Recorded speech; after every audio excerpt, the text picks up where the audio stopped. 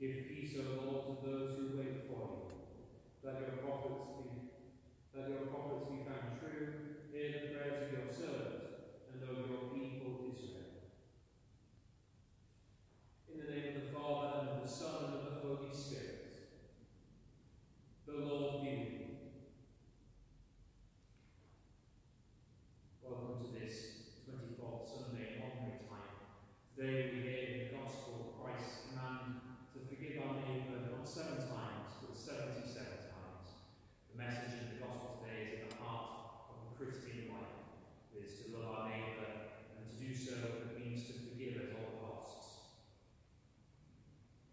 Brethren, let's acknowledge our sins and so prepare ourselves to celebrate the Saviour.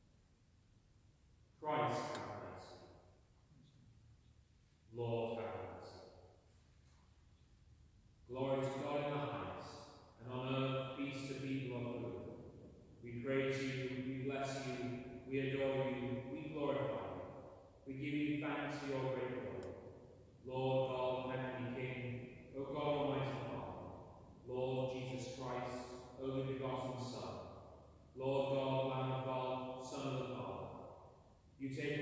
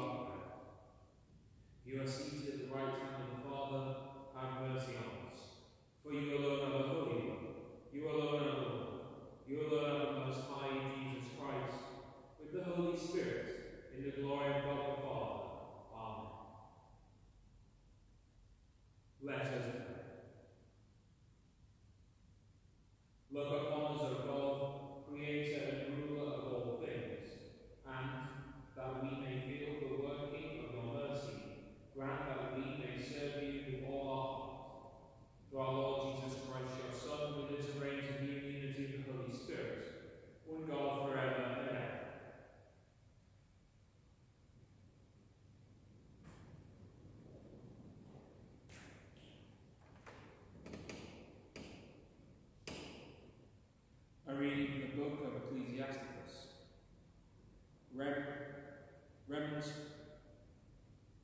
resentment, and anger, these are foul things, and both are found with the sinner. He who exacts vengeance will experience the vengeance of the Lord, who keeps strict account of sin. Forgive your neighbour the hurt he does you, and when you pray, your sins will be forgiven. If a man nurses anger against another, can he then demand compassion from the Lord? Showing no pity for a man like himself, can he then plead for his own sins? Mere creatures of flesh, he cherishes resentment. Who will forgive him his sins? Remember the last things and stop hating. Remember disillusion and death. Live. Remember disillusion and death and live by hope commandments. Remember the commandments and do not bear your neighbour ill will. Remember the covenant of the Most High, and over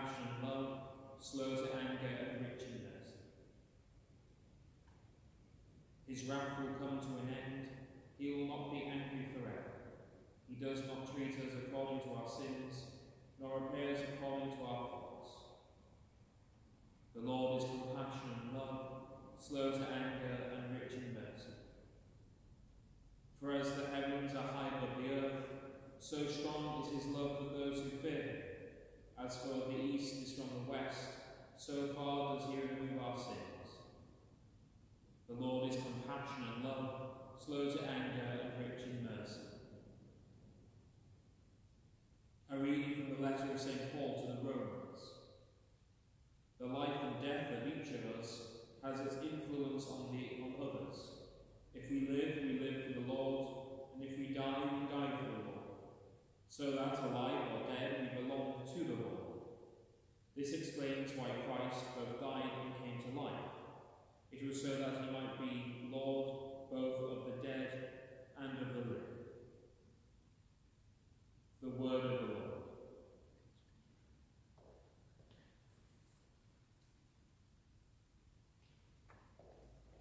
Alleluia, Alleluia.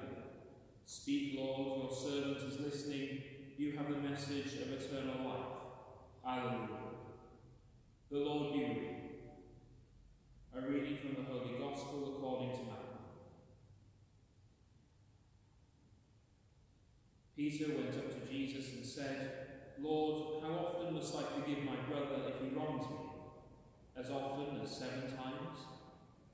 Jesus answered, Not seven, I, I tell you, but seventy-seven times. And so the kingdom of heaven may be compared to a king who decided to settle his account with his servants. When the reckoning when the reckoning began, they brought him a man who owed, owed 10,000 talents, but he had no means of paying. So his master gave orders that he should be sold together with his wife and children and all his, and all his possessions to meet the debt. At this, servant threw himself down at his master's feet. Give me time, he said, and I will pay the whole sum. And the servant's master felt so sorry for him that he let him go and cancelled the debt. Now, as the servant went out, he happened to meet a fellow servant who owed him 100 denarii, and he seized him by the throat and began to throttle him. Pay what you owe me, fellow servant fell at his feet and implored him, saying, Give me time and I will pay. But the other would not agree. On the contrary, he had him thrown into prison till he should pay the debt. His fellow servants were deeply distressed when they saw what had happened, and they went to their master and reported the whole affair to him. The master sent for him. You wicked servant, he said, I cancelled all your debt of.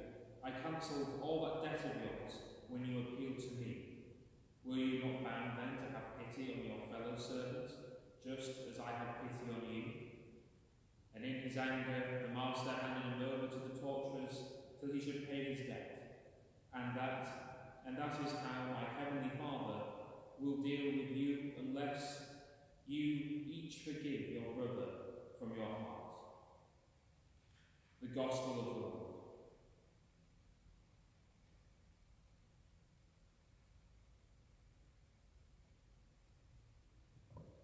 The Gospel we just heard, we see the very essence of Christianity, one of the, one of the great kind of uh, building blocks of the Christian life, the message of forgiveness.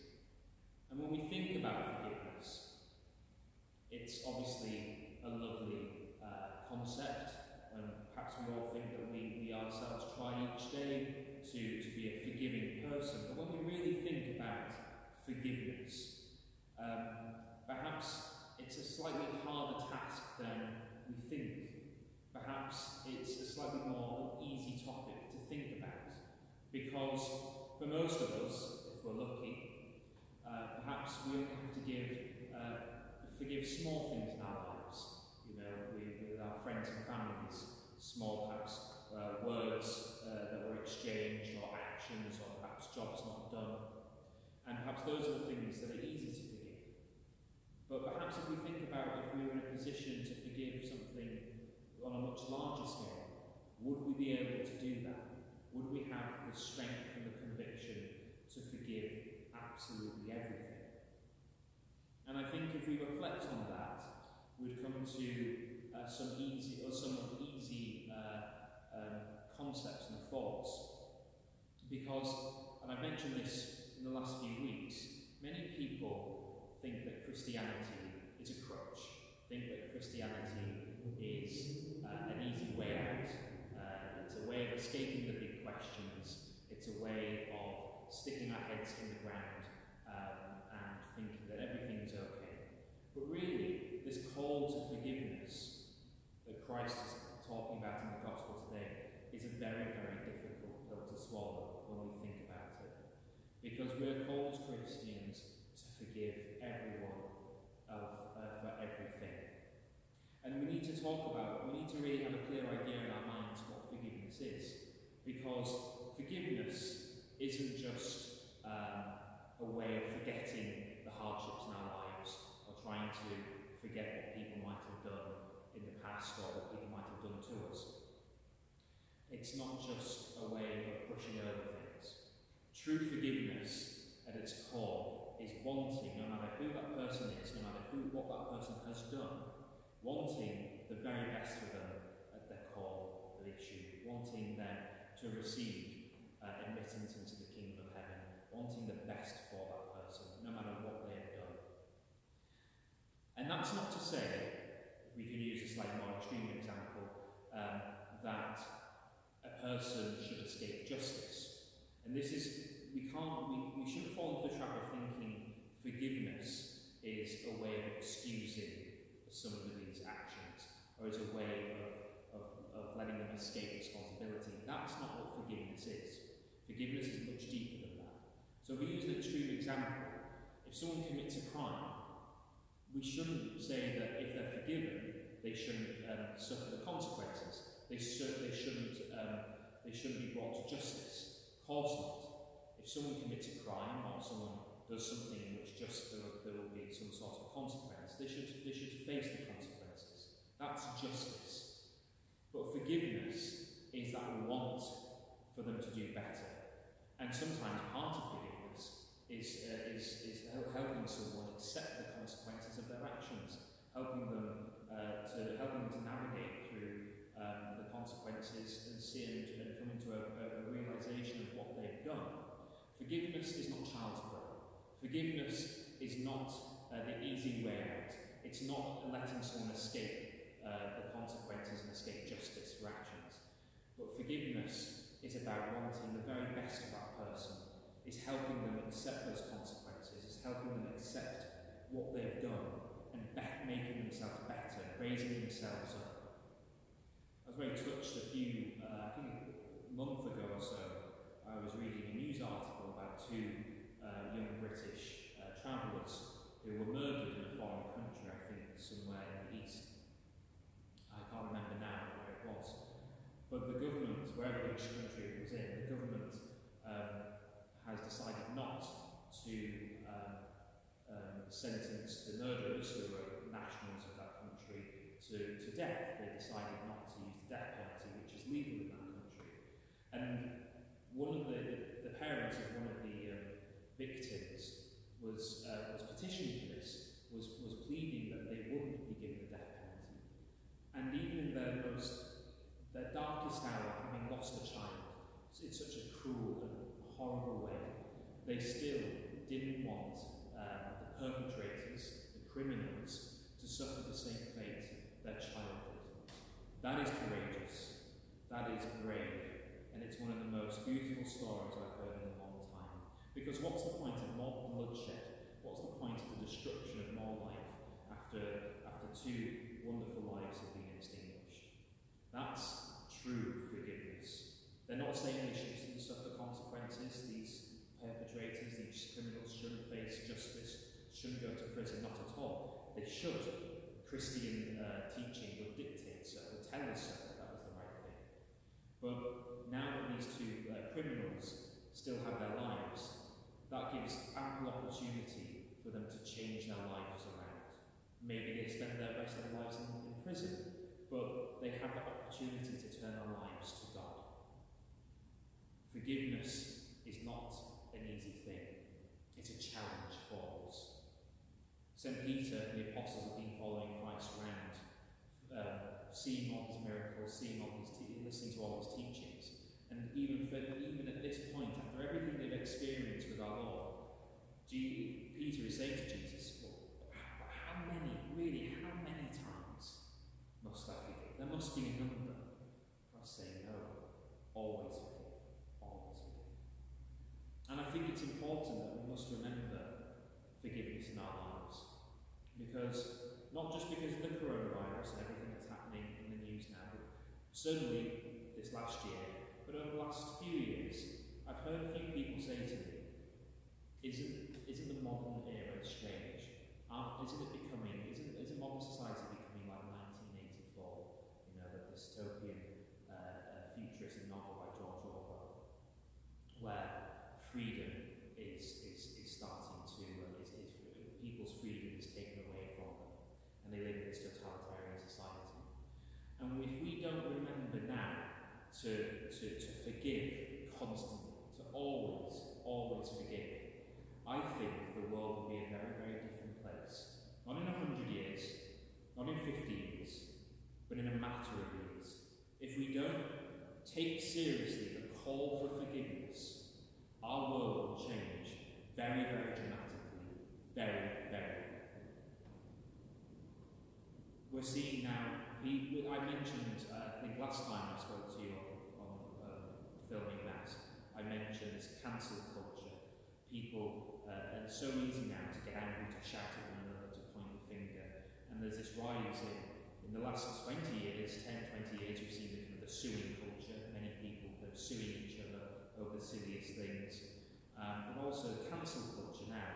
And if you can if you can destroy someone's reputation, if you don't like what someone says, you don't like what they stand for, um, you could destroy their reputation. They'll, they can lose their job. They can lose their friends. You can make someone almost disappear. And if someone says truly something, something that's truly horrible and says something that's very, very silly, gone are the days when we can just look at them and say, well, more fool them, and, and let their own words come back to them and suffer the consequences for saying something. But now, if we don't if we don't like what someone says because it doesn't fit in with our opinions, we can trash that person. We can really ruin them. And this is happening on social media. It's happening in the mainstream media, the news. Um, it happens so often in day-to-day life. And because of social media, because of the way that people think, this is only getting more momentum. This is only getting faster it is only getting worse. So I don't think that it's um, uh, an exaggeration to say if we don't listen to this week's gospel and take it seriously and, and really reflect on what it means to forgive, we will be in serious, serious trouble in the next few years. As I said, not in the, dis- not in the distant future, in the dark future, but only in a short time. The call to forgive the call to follow Christ has never been more important than it has than it is now. So let's reflect this week of what it means to forgive.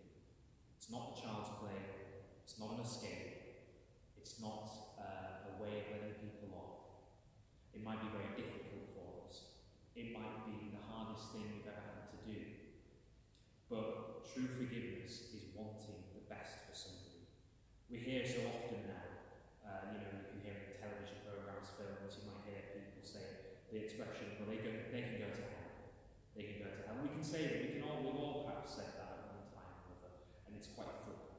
And perhaps we don't really mean it, because when we think about what it means, they can go to hell, it is truly the most horrible thing we could say about somebody. Hell is being cut off from God. Hell, we, were, we hear Christ talk about hell multiple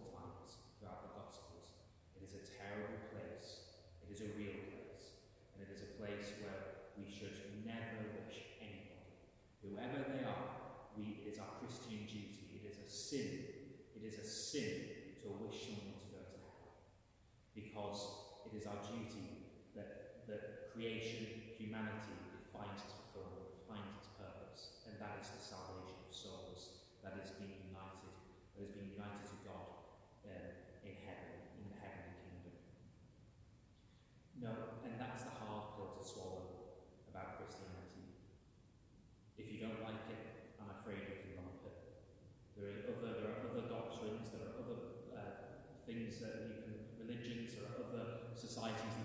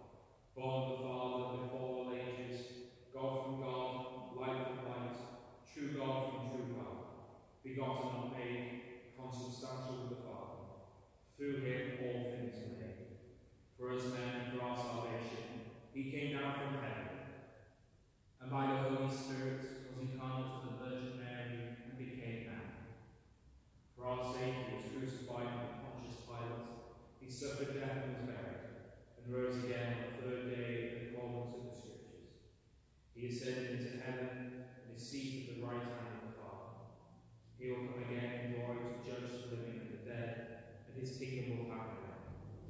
I believe in the Holy Spirit, the Lord, the giver of life, who proceeds from the Father and the Son, who the Father and the Son is adored and glorified, who has spoken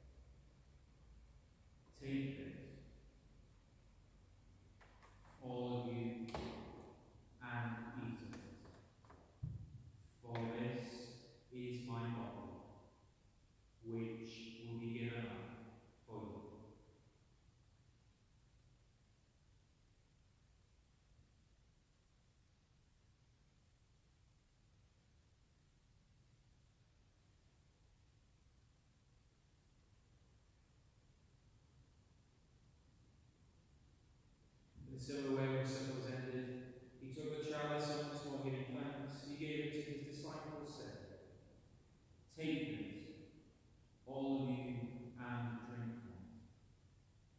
For this is the chalice of my blood, the blood of the new and eternal covenant, which will be poured out for you and for many, for the forgiveness of sins.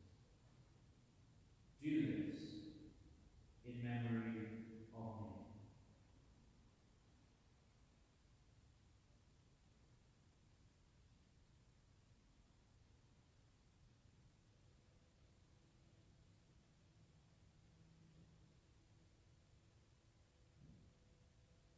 The mystery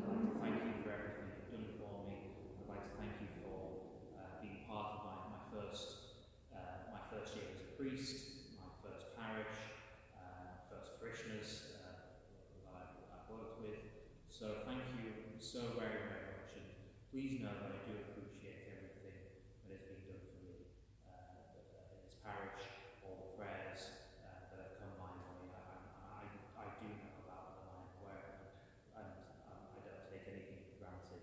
Uh, thank you for everything. And please, please, you will always be my prayers, but please pray for me. Uh, please keep me in your prayers. And talking of forgiveness, if I